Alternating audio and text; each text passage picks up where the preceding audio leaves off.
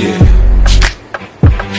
Uh huh. So seductive. I take you to the candy shop.